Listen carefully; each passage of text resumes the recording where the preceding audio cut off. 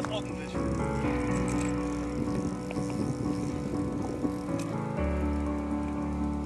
Auf der Prallseite gebissen.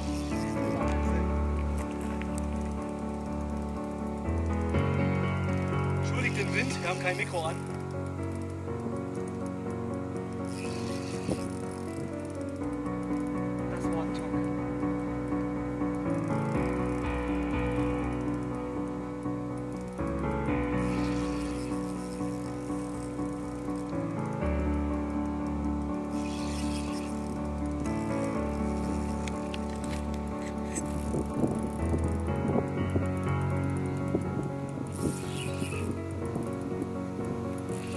Schwede.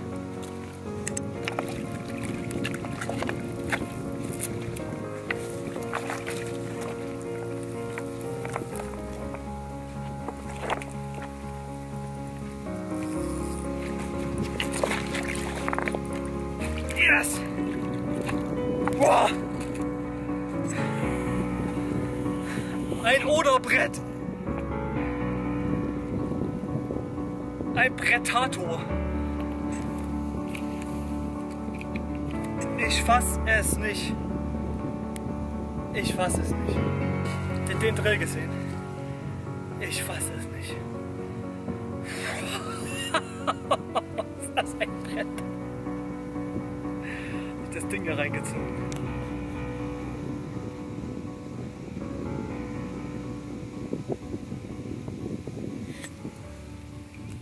Traum.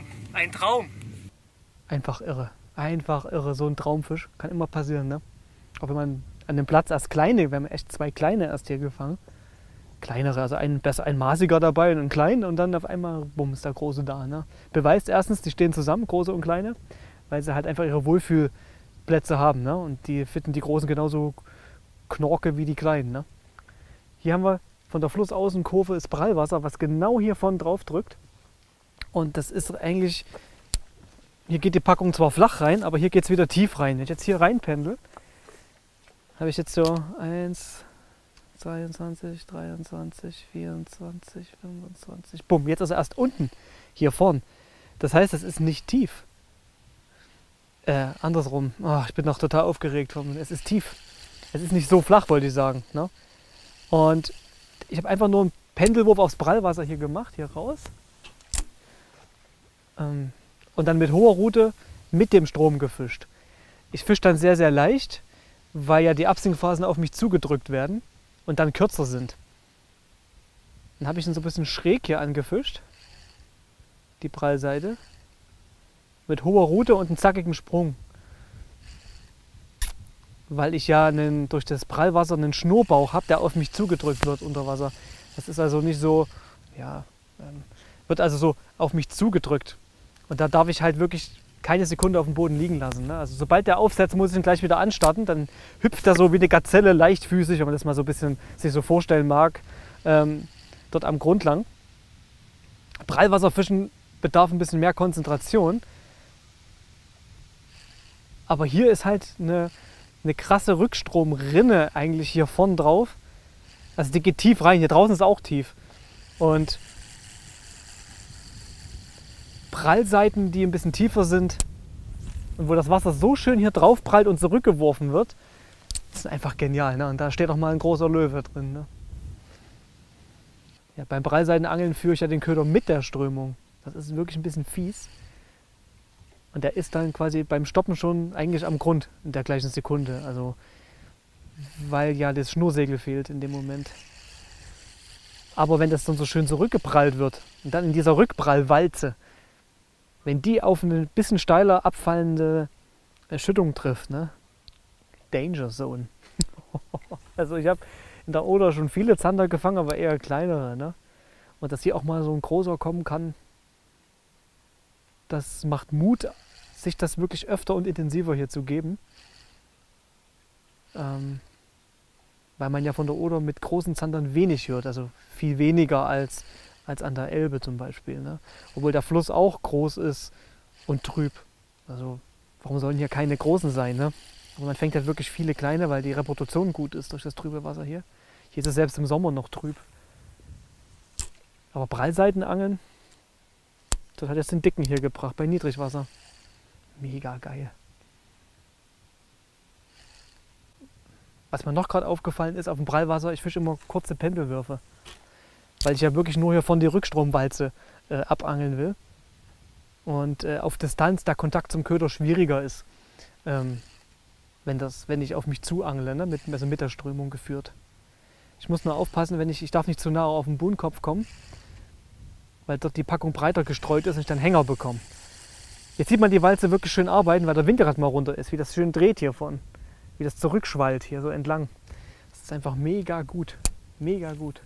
Da reicht ein kurzer Pendelwurf hier von rein und an erhöhter Route ne, fischen, damit der Köder auch einen guten Startwinkel hat und eine schöne Starthilfe kriegt und nach oben wegstartet an dem steileren Schnurwinkel. Das mache ich auch beim Prallseidenangeln immer. Mega gut. An so einem Tag, wenn es gut läuft, so wie heute, nehme ich mir auch mal zwei Küchenfische mit, die ich dann schön auf der Haut brate oder in den Backofen lege. Das ist dann herrlich. Das ist dann der richtige runde Abschluss von so einem herrlichen, sehr erfolgreichen Angeltag.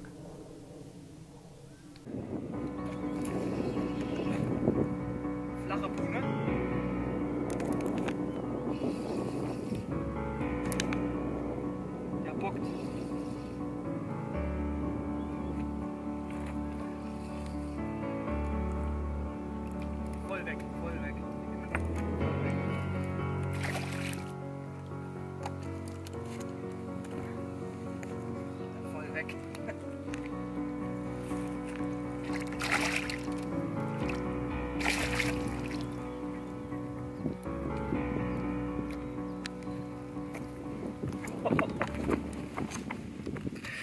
hat das schön geballert.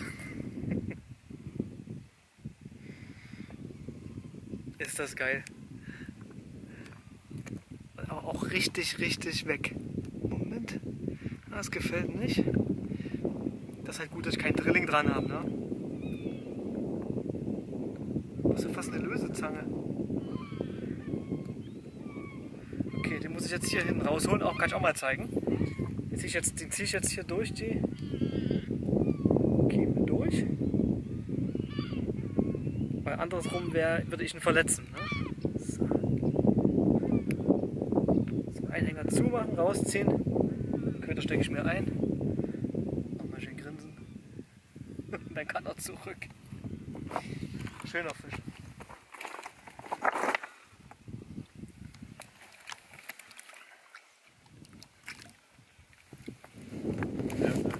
So, das war jetzt eine ganz andere Geschichte. Nicht mit Prallwasser, mit der Walze davor, sondern hier ist echt extrem flach. Hier ist keine Rückströmung, nichts. Und da eben so richtig schön auf voller Distanz, da wo die Wirbel wieder anfangen am Hauptstrom. Richtig weit draußen. Das habe ich gerade so erreicht. Und da war es auch gleich die erste Sinkphase. Talk. Und wir haben heute schon noch ein paar mehr Zander gefangen. Aber erst der Große ist ja, mit dem sind wir hier eingestiegen. Also ist das geil. Aber das war jetzt richtig schön. Hier draußen. Weiter geht's gar nicht so, so krass. Aber es ist nicht tief, ne? Die Strömung hat halt Druck, das dauert bis er unten ist. Und dann kam es bumm. Jetzt abends wird nochmal mit Wobbler probiert, wenn die Zander jetzt aktiv werden und ganz flach kommen. Das Wasser ist sehr trübe. Deswegen nehmen wir auch mal was mit UV. Und schauen mal, ob wir da eine schöne Stelle im Hauptstrom finden. Die Stelle wird es heute Abend mit dem direkten Hauptstrom. Packlager, also Steinschüttung, die direkt in die Hauptströmung reingeht.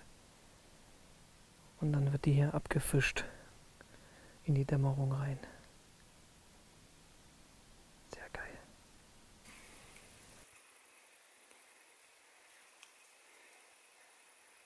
Nacht noch gar nicht angebrochen, schon haben wir den Nachtläufer Zander. Alter. Oh, das war ein Biss.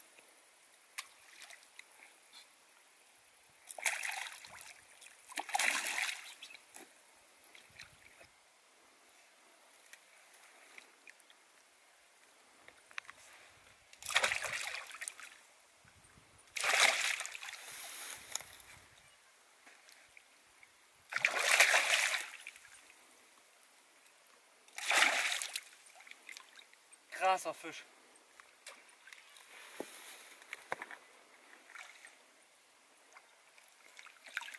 Da ist er. Ist das krass. Da ist er. Im Hauptstrom an der Schüttung gebissen bei Niedrigwasser. Im Hauptstrom drin. Ganz dicht vor. Es ist so geil. Es ist so, so geil. So, da heißt es in der Oder. Ist echt lang geblieben noch. Ich habe es aber jetzt nicht noch. Es war einfach nur mal ein Versuch, um das mal zu testen. Die im Hauptstrom beißen. Mega krass mit den drei Drillingen. Vorsichtig machen damit beim Landen. Ja, und das ist auch ein Fisch von 70, ne? Irre krass. Gerade gemessen. Knapp 70. und weg. So, wenn man hier mal die Packung lang guckt, ich weiß nicht, ob man das noch sehen kann jetzt, hier im Hauptstrom. Einfach dort flach vor.